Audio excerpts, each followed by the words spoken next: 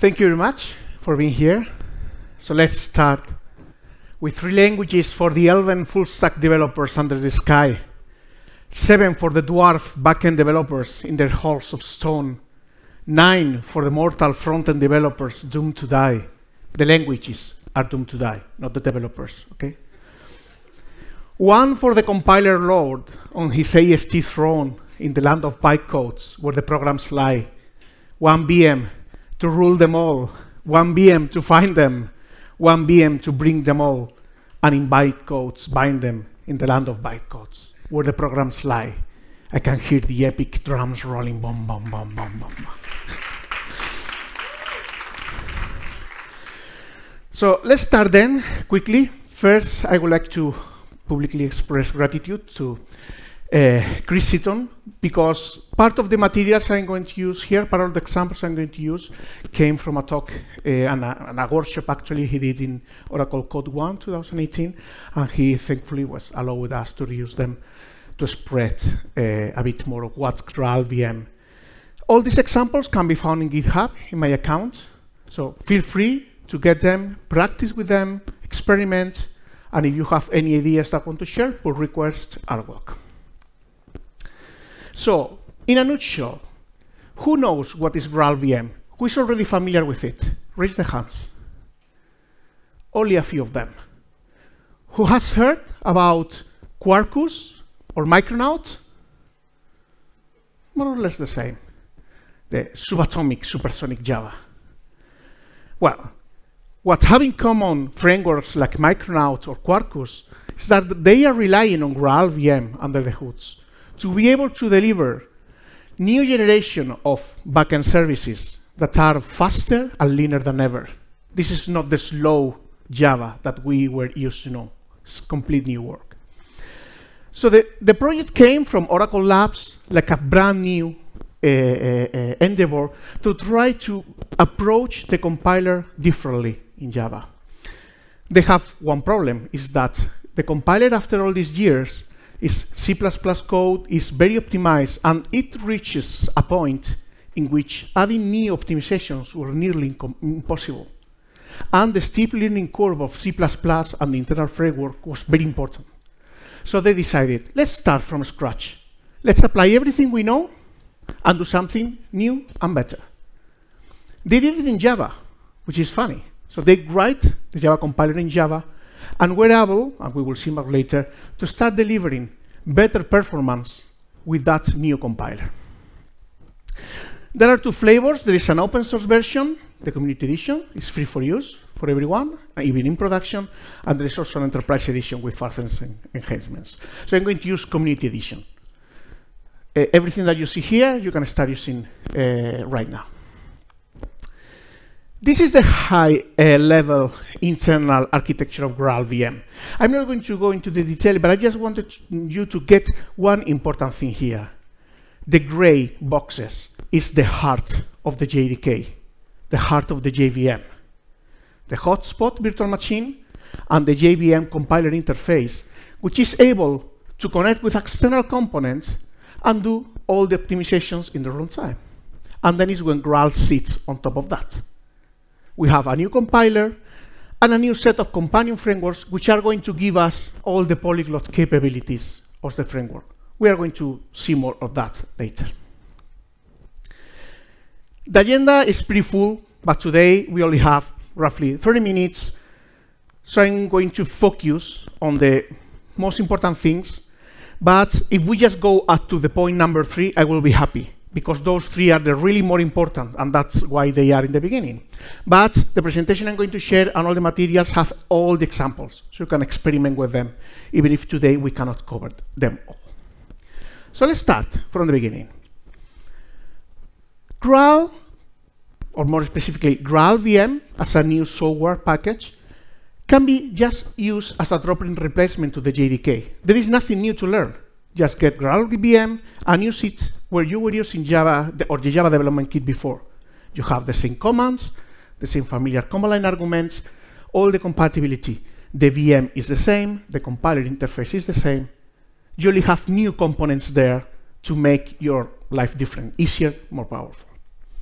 Of course, there are also some specific uh, uh, commands for doing new things. We will see some of them. An important thing to note is that GraalVM, the downloadable package, is still at Java 8. Okay, 11 is in the works, but it's still at Java 8.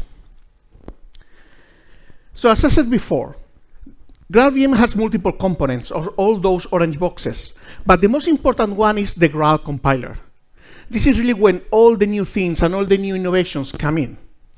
So you know what is the role of that compiler? Many people think that this is Java-C command, but this is not the case. Java-C takes Java code and converts it into bytecodes. The same that you have a compiler for Kotlin, a compiler for Scala. They all have something in common. They produce bytecodes. But the real magic inside the JVM is that on runtime, you take those bytecodes, explore your machine, and what are you doing, and what are the resources that you have available, and apply optimizations at that moment. Optimizations that are being improved with time. That's the usual thing we see, no? The, the, the Java virtual machine takes some time to start, but then it starts to behave better, it performs better. So that's compiler, which takes bytecodes and optimize them, is really the core of, the core of Graal, is what makes Graal really performing better. Better memory footprints, better performance in many cases. I like this picture. It comes from Chris Thalingers from Twitter, from the Joker 2017 conference, where they publicly spoke where were the performance improvements they were seeing after introducing Graal compiler in some of their production services. An 11% improvement in CPU benchmark when you are running a big a farm of servers is really a lot of money. So even small improvements in performance like a 3% or 5% can really make a difference. So let's start playing with Graal, okay? Okay, so you can see, how can you see the, the, the screen then from the back is okay? Yeah? Okay, so right now I have here a console. I have already GraalVM installed, so you don't need to wait. If I just click on the typical well-known Java dash version command, I can see that this GraalVM, which I have installed, and is going to be uh, running my programs. Sorry, okay. So let's start. It's a very simple program that is just taking as a text file and is counting the words. And it's going to just print the 10 words that has uh, more appearances in that file. So if I just show you the, the file, you can see that there is a very simple Java program reading a file using the Stream API, similar, no, no, nothing that we are not used to, to see, okay? Counting the words, etc., etc. So now let's execute, sorry, uh, let's compile the program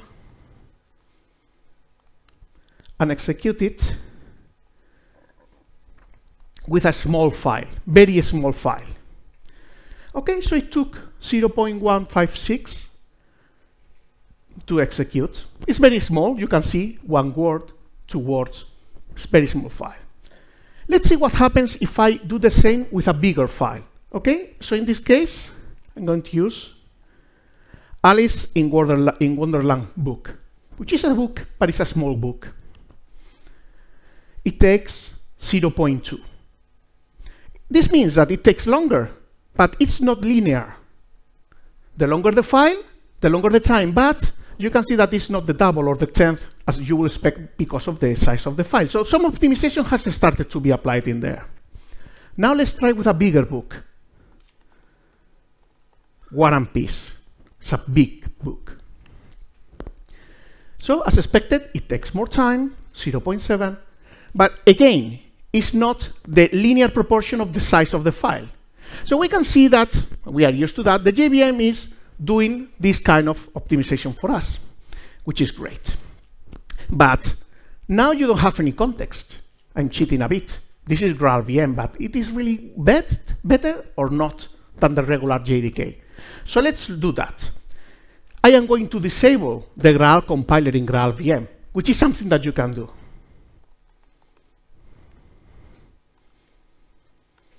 So let's disable and re-execute with uh, War. So we can see that there is a small uh, performance improvement, but this is really very simple program that is running for very, very short period of time. And this is probably even not meaningless because this is a box, it's a developer PC, it, does, it, it is doing a lot of things.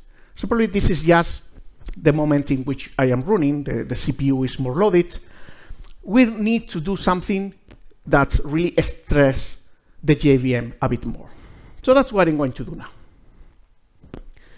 So this other example is a bit, a bit more elaborate. It's a test of value types. So we have a matrix of complex numbers, and we are going to multiply these matrices.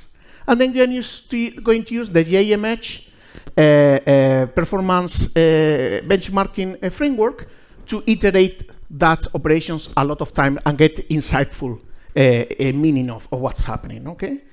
So let's package the, the project. And let's execute this with Graal activated. So first it's going to do the warm-up iterations. It's going to take some time just to ensure that we are applying enough optimizations in the JVM to take meaningful results of this benchmarking. But we can see that, well, more or less, after a few seconds, we start to see like the plateau of productivity. So we have roughly 2.5 milliseconds. This is microseconds with a new, but it's microseconds, okay? So it's 2.5 milliseconds per operation, which is quite nice. 2.5. Let's wait for the, for the ends. 2.4, 2.5. Just remember the, the number, okay? This is the, the performance we are seeing with GraalVM. Now I'm going to disable the Graal compiler, and I'm going to execute the same program. we disable the compiler. And from the very beginning, you are starting to see the difference. From the 2.5 roughly that we were gaining with GraalVM and the Graal compiler, now we are about 8. Then the C1, C2 compiler, so the regular compiler, is still, you know, catch up a bit, and you can get 6.3, 6.4. So you can see that we are gaining three times the performance just by switching to the Graal compiler. So the, the longer the program runs, the more computational logic that you put in the program, more optimizations the new compiler will do, and more uh, performance uh, uh, gains are you going to see. Okay? You can see regular Java programs just replace one for the other. So it's easy to start experimenting with it and see for your specific services and specific programs, you can also get these good performance optimizations. Okay? It's true that this is good for long running programs. The more the program runs, the more optimization we have. What about short running programs? We will see that later, okay? So what if I told you that the JDK that you're using today, if it is 11 or newer, already has the Graal compiler inside it? Did anyone know? No? But, but it's there. It's not enabled by default. And it's not the latest version. But there is recent one and is going to be updated as new version of Java uh, are coming out. So this means that you even can, uh, uh, don't need to download anything to start experimenting with Graal. Just take your JDK and activate it. So let's see how this is done. Okay, it's very simple. So let's go back to the top 10 example, the one that is counting words in a file. So you can see in the shell that I'm now working with Java 13, the latest one, no? So Java's dash version. This is the regular OpenJDK, the latest one. So remember how much time do we need it to count the words in and Peace? I, I don't remember, so I'm going to execute again. Okay, 0 0.9, 1 point, roughly that. Now let's activate, uh, let's activate the Graal compiler in the uh, OpenJDK. We execute it, and we are not seeing the expected uh, performance of, uh, gains. So as I said before, this is not the latest version, and probably this is not the, the best example. But how about the one with the complex multiplications, which is really big computational logic? Will we see these performance optimizations in this other example? Well, let's see. So again, uh, do you remember the time that we need that? I don't. So I'm going to run it again. So this is JDK 13, 7.2, now I remember. 6.7, 6.6, okay, that's, that's approximately the figure. We can stop this. So now, let's execute the same, enabling the, the Graal, I, I, know this can be confusing sometimes, enabling the Graal compiler inside the OpenJDK. It's not the latest version. You can see that it's not as good as previously, just directly with the Graal VM. But there are, you can see them. There are performance optimizations just by switching on the Graal compiler in, in JDK. So this means that you can go back to your works, to your home projects, wherever you are, and if you are already working on Java 11 or, or, or, or Gritter, you can start enabling that just with these few switches and start experimenting and getting the value of this performance optimization for you, okay? This is already considered production ready, okay? So if you are not using, you are losing the opportunity. Really, really, for most of the programs we do, long running services, etc., you can see this kind of improvements. Maybe not so extreme, because this is just a lot of computational mathematics operations, but regularly you, you can easily see 5%, 10% performance improvements. Okay? So is it cool? Do you like it? Yeah? Now, this is going to be cool. Believe me. What if I told you that besides this fantastic just-in-time compiler, Graal also comes with an ahead of time compiler. Who knows which is ahead of time? The traditional compilation. I take my program and I create a native program, an executable, not bytecodes, nothing inter intermediate, nothing interpreted. It is a native program.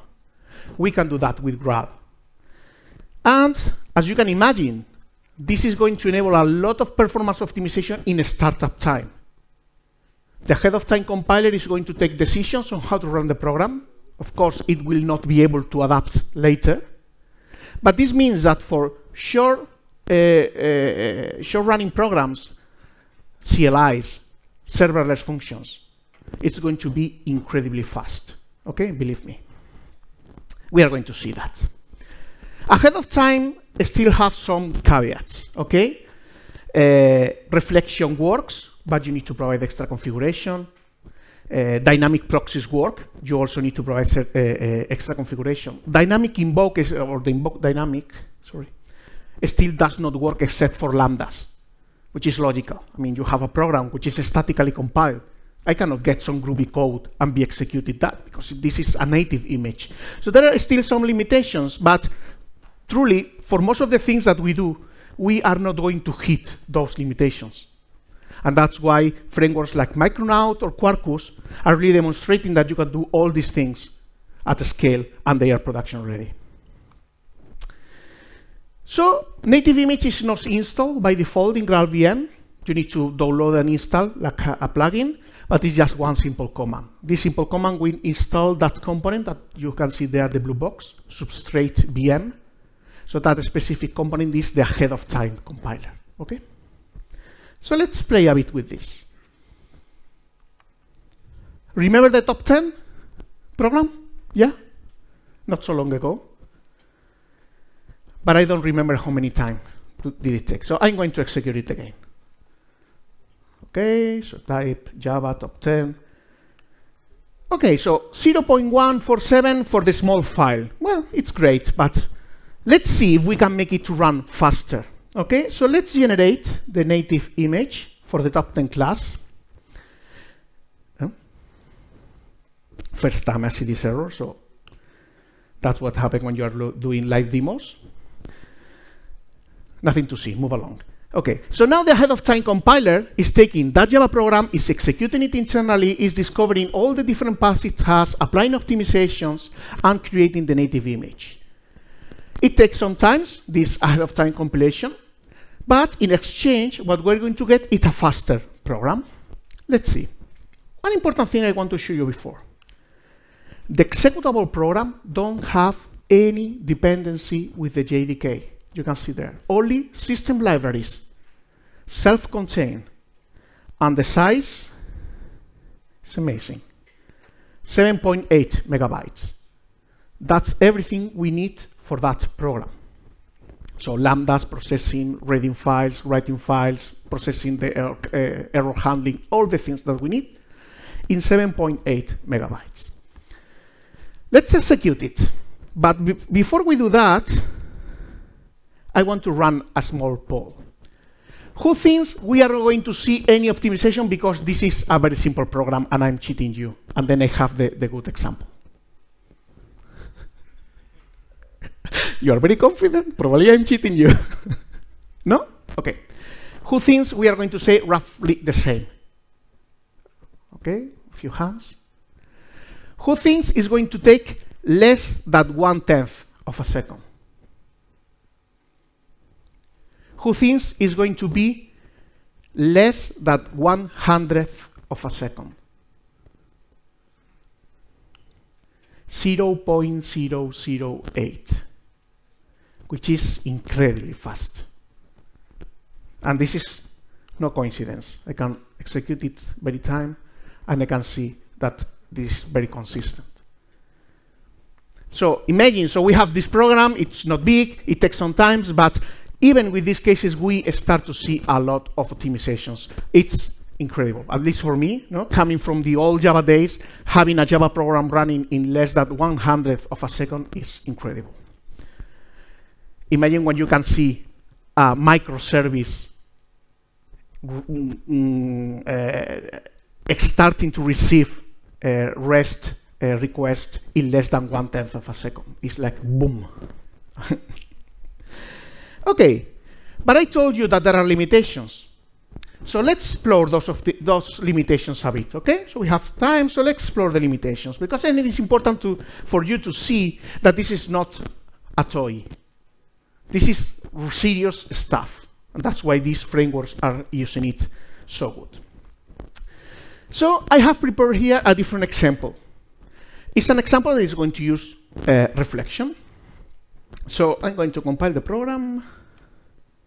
Let me show you the, the code a bit, okay?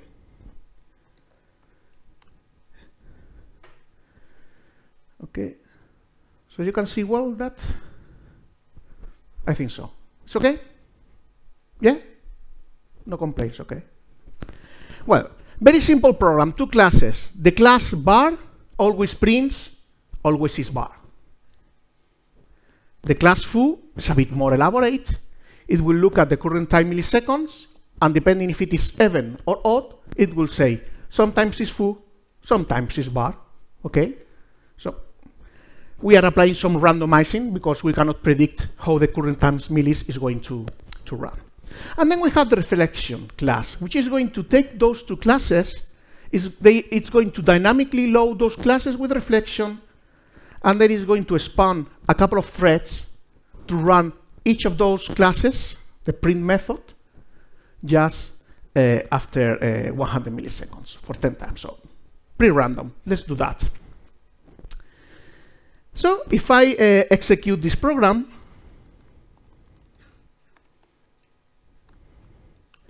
I can see that as expected, I get always is bar and sometimes foo, sometimes bar. Okay, not predictable, because the timing is not perfect. This is not uh, a real-time uh, uh, processor, so you see that this is not predictable.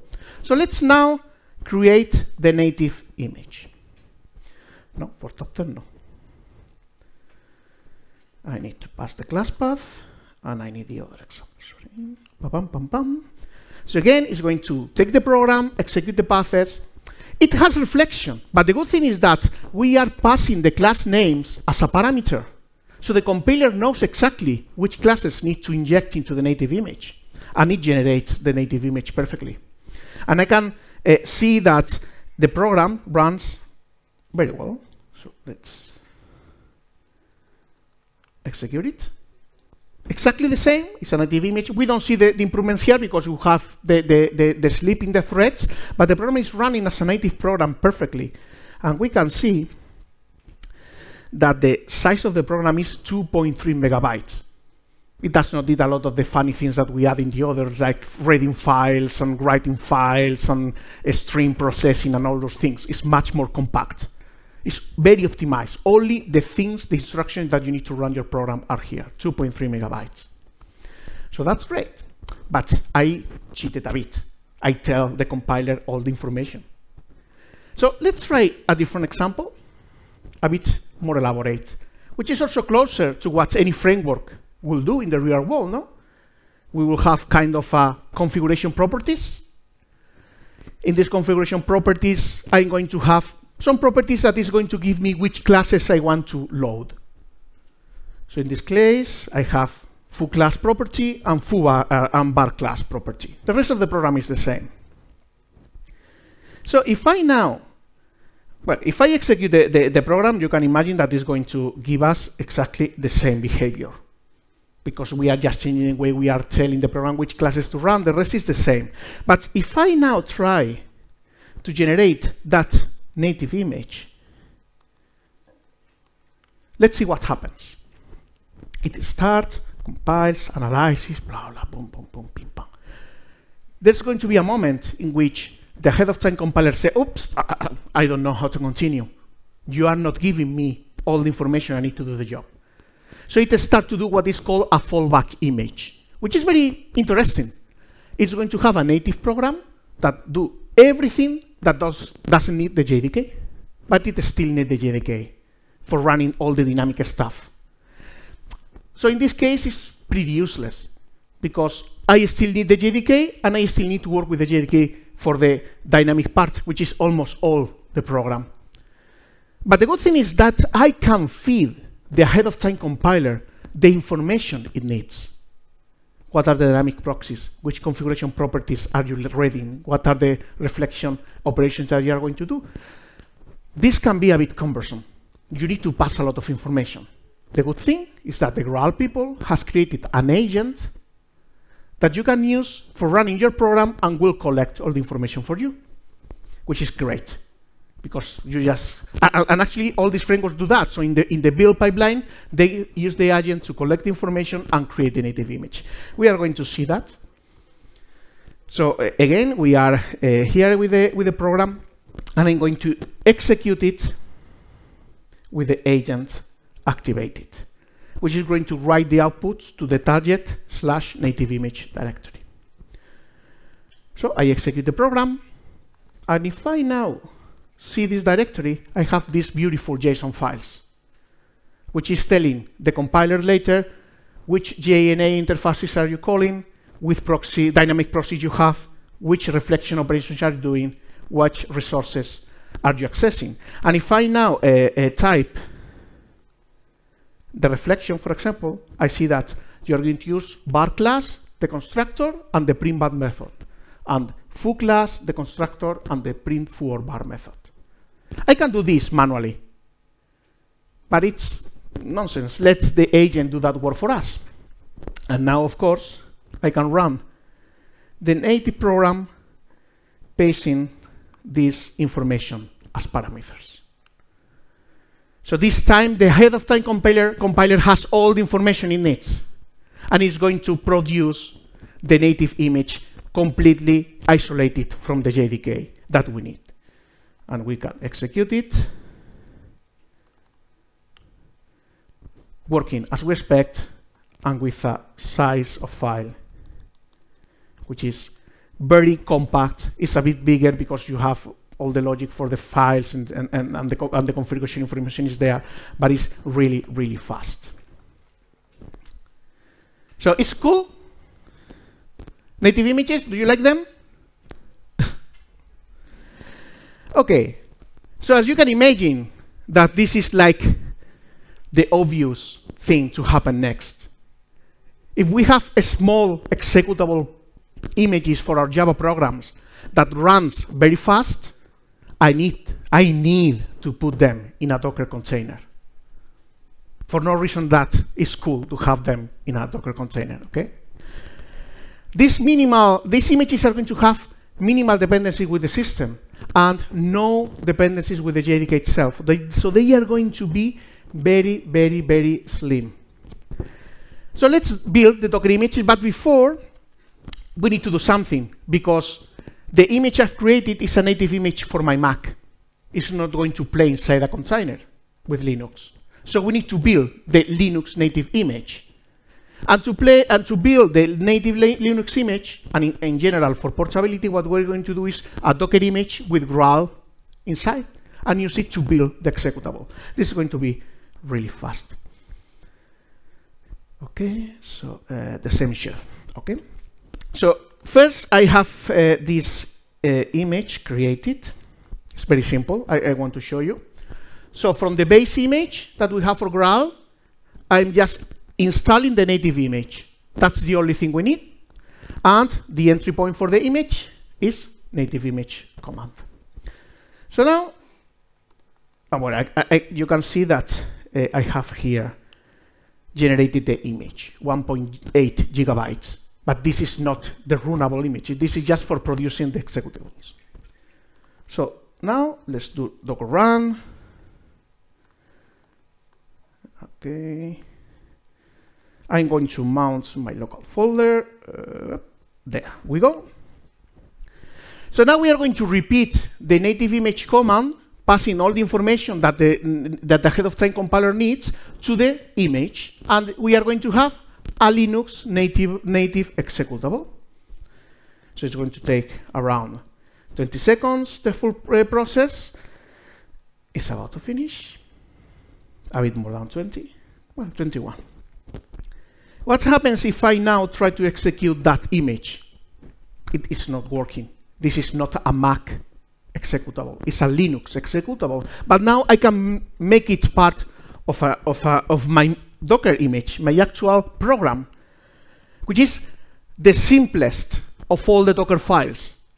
From Alpine, which is the slimmest, the really minimal, minimal Linux distribution we need, copy the executable, make it executable, and run it. Just like that. So let's build that image with the executable that we have now created. It's really fast, and then run uh,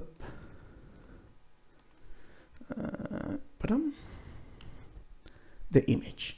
As we expected, is running perfectly fine as a native image inside my Docker container with Java, reflections, config files, you name it. Whatever you need is there. And the image is, no, not this one, is 14 megabytes only which is really, really cool.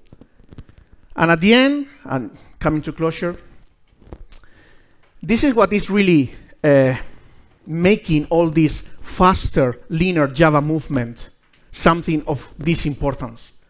Because when we take this, not, not to these toy programs, but to real programs, real services that we are doing, and real frameworks that we use, it's really a game changer again milliseconds for running a program, megabytes to count the size of an image, and frameworks like Micronaut and Quarkus. There has been a Quarkus talk before, so if you have not been there, uh, wait for the recording. So Micronaut, Quarkus, Spring is almost there.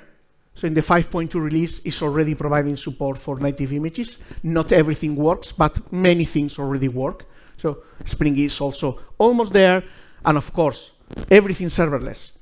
If we need something to work fast, return fast, sometimes we've been forced to choose another languages because we needed that extra speed and the JVM was not good for that. But now we can also use the JVM, which means pick the languages that is best for your job, what the team knows, what the team likes. There is no limitations like we were used to, like we cannot use Java for this because it's too slow. Now that is no longer an excuse uh, to stop uh, choosing Java. Okay? we are out of time, so if there are any questions, how can we read them? M my sight is not as good as it should be. There you go. We'll put it on the big screen. Okay, perfect. Put it on the big screen, if see. possible. Move blue to this. day. Ah, go. perfect. you have it. Nice. Thank you very much. So, how portable are the compiler binaries between systems? They are not portable. They are native images. and, and, I precisely do that exercise because this is not no, no longer a write once, run everywhere program. It's a native image. So you need to compile every time for the different system, Windows, Mac, Linux, when, when you need it, okay? So what is the difference in the optimization between different platform or architecture? Uh, I don't know, okay? Of course, the benchmark may be different, but at least from what I'm being able to see in Linux and Macs, uh, Macs, really the main difference is not in the system itself, it's more on the program side. So probably there are differences, but if they are, probably they are not noticeable, at least not to me. But of course, the type of program is where you are going to see no optimization, small optimizations, or a lot of optimizations, okay? Will a Spring Boot REST API work?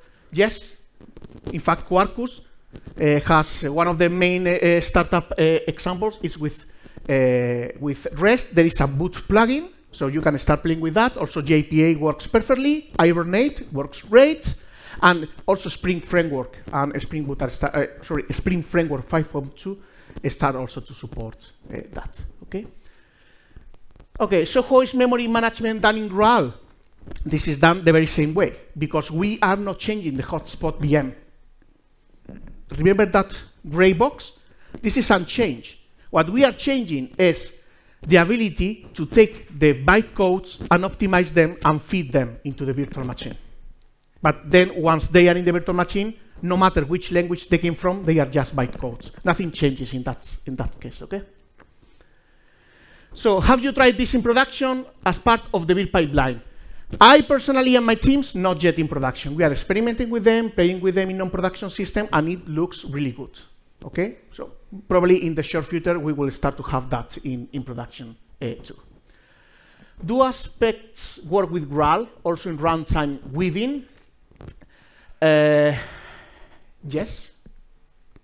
Okay, I don't know all the details, but they work with Spring. So they work with Spring, they, they work. At the end, with Aspect, what you are going to do is kind of injecting some code or dynamic proxies. So most of the time it works. As I mentioned before, especially for Spring, which relies heavily on aspects, not everything works yet. But many things from that we are used to doing in the Spring framework are already working. Is there a case where you will not recommend to use Graal VM if you are a fearful person? I mean, if you are really scary of trying new things, because, I mean, it's already in the JDK. Start playing with it in non-production, in your test environment, and see how it works, even in your developer machine. So there is no really reason to, to say this is not going to work. It's working for many people. And, and there are people that are gaining a lot of benefits from that in production, okay? But of course, if you are scary of new things, well, but you will probably not be here. So I'm sure that's not the case, okay? So how is memory management done in native images? No memory management. I mean, it's like a C program. So you open, use that, free up. So there is no garbage collection and all these kind of things. So you have a, a string. The moment it gets out of scope, it's freed up. Like if you done a malloc, and then they allocate the memory. But there is no kind of memory management that we are used to do in a virtual machine. Okay, no garbage collection and all these kind of things. They, they are not there. So who is backing the development of Graal? This is mainly Oracle from Oracle Labs. But as happens with many open source projects, the moment that they start to get mainstream and many people start using them, they start to be also a community effort. Because you can imagine Red Hat, the Micronaut people, all these people have started to rely on Graal. So at that moment, it really stopped to belong to just one company, but too many that are, are looking at that. But it's most of the, uh, of the effort part of the, the Oracle Labs. Okay. Does TensorFlow run on Graal Python? As far as I know, uh, no. Okay. Python is still very experimental, and uh, typically only the most simple programs are going to run. But this is changing every week. So this is as far as I know. Okay? But you will probably check again. Okay? All right. No more questions? That was oh what there you go. Ah. How does it work with mocking frameworks? Mm, I don't understand the use case. I mean, you use mocking frameworks to run your unit test. You, you don't need your unit test to. I mean, I, I, I, I, assume that you are speaking about native images. You're going to use native images during unit testing. This is like kind of your build process. So in that sense, I mean, in theory you could do that, but why? Why do you need to use your unit test or run your unit test as a native image? Probably does not make sense. Okay, but it will depend uh, of not solely on the type of mocking framework, but in uh, what are the things that you are doing. So if you are using just EasyMock and simple things, this is just normal stuff. So, but if you need uh, uh, instrumentation, bytecode instrumentation, for, so for example, for mocking a constructor or for mocking a static block, that is not going to work because there is no dynamic uh, bytecode generation possible with the native image. But as I said before, I probably it does not make sense to run your unit test with the with the native image. Okay. Does Spring Data work with Graal? Uh, I am not 100% sure. I think yes, as part of uh, Spring J with JPA and Hibernate, but I am not completely sure. I will need to, to double check on that. Okay. And okay, I think it's the okay. last one. Still have time, so not rushing it. no, no, no, no. Okay, that's it. Thank you very Then much. Thank you very much, Jorge Hidalgo. Thank you.